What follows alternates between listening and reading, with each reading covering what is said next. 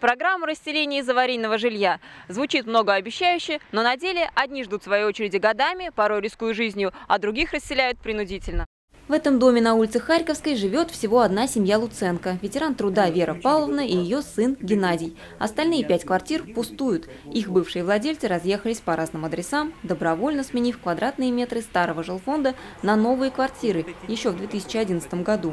Семье Луценко администрация Энгельского муниципального района предлагала квартиру на улице Ломоносова, но получила отказ. И никуда я не хочу уходить. Мне дорог этот дом. Прошу не трогать меня. Я уже больной старый человек, парализованный. Че, куда меня выкидывать? Я здесь состарилась, прожила всю жизнь. Пришла тоже молодой. Здесь у меня сыновья родились, у меня здесь внуки, правнуки уже. Свой отказ Луценко объясняют тем, что согласие на участие в каких бы то ни было программах по расселению не давали. Имея свидетельство на квартиру и земельный участок, мать и сын пытаются отстоять свое право распоряжаться законным имуществом, тем более, что документа, подтверждающего аварийность дома, нет. Нам приехали, отрезали тепло, чтобы мы быстрее согласились. Отрезали свет – у нас за все коммуникации были уплочены. Договор мы ни с кем с управляющей компанией не расторгали. Лишенный всех благ цивилизации, Луценко смогли восстановить только электричество. Геннадий рассказывает, как неизвестные люди по ночам били окна и растаскивали остатки имущества из заброшенных соседских квартир. Чтобы обезопасить себя, пришлось установить железную дверь в подъезде и камеры наружного наблюдения – жизнь превратилась в борьбу за существование.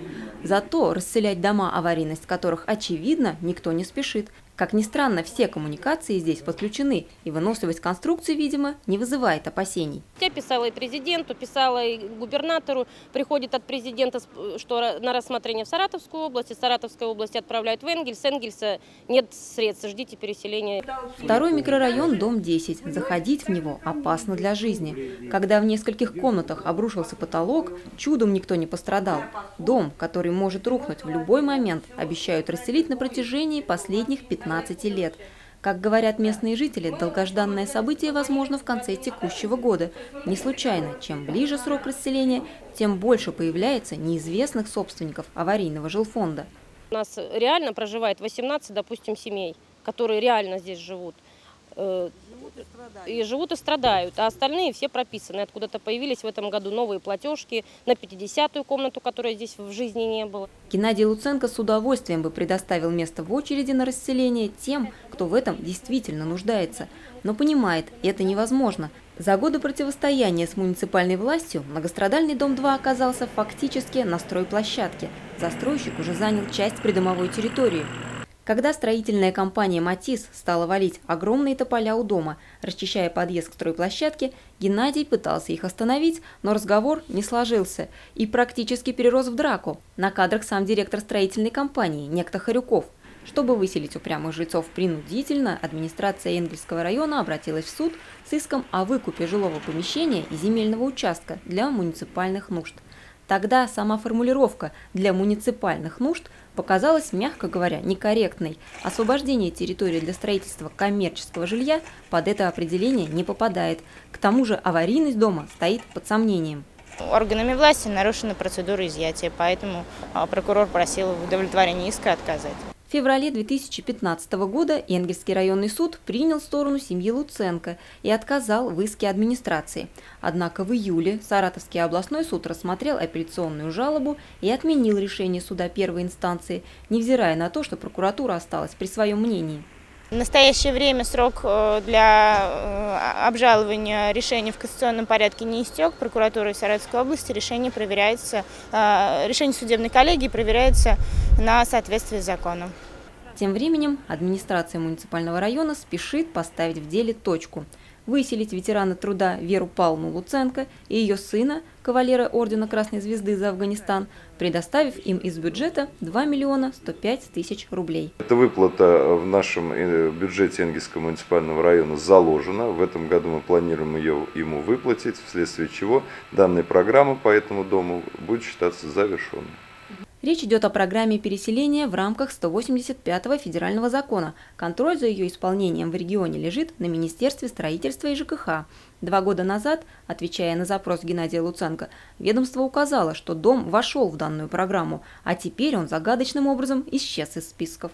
Программа переселения в соответствии со 185-м федеральным законом э, э, вышеуказанной на квартирный дом не вошел, ввиду того, что он не был признан аварийным до 1 января 2012 года.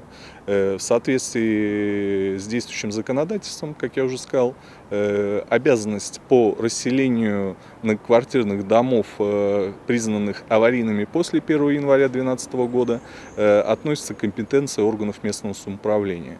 Расселяют они, э, скажем так, по своей какой-то муниципальной программе. Так по какой же программе расселяют дом? Может, эта путаница не случайна? За годы борьбы в руки Геннадия попало много интересных документов. Например, три кадастровых паспорта с разными номерами на одну и ту же квартиру.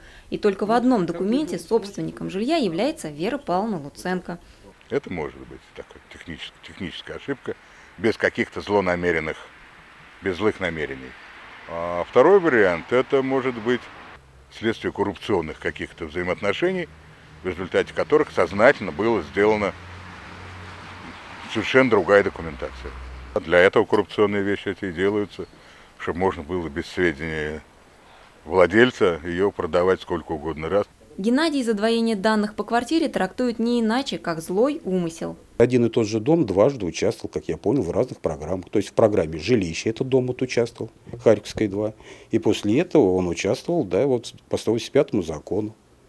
Поэтому Владимир Владимирович Путина, я думаю, да, денег столько не найдется, чтобы один дом дважды или трижды расселять чтобы президент страны узнал о том, как реализуется программа расселения и помог восстановить справедливость, Вера Павловна готова подарить главе государства половину своей квартиры, но пока оформить дарственную никто не берется.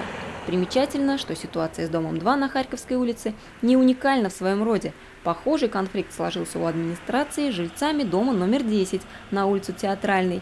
Там дело до суда пока не дошло, вот и получается, что в первую очередь расселяют дома, расположенные на лакомых кусочках земли или в местах активной застройки, а реально аварийное жилье трещит по швам и ждет своего часа.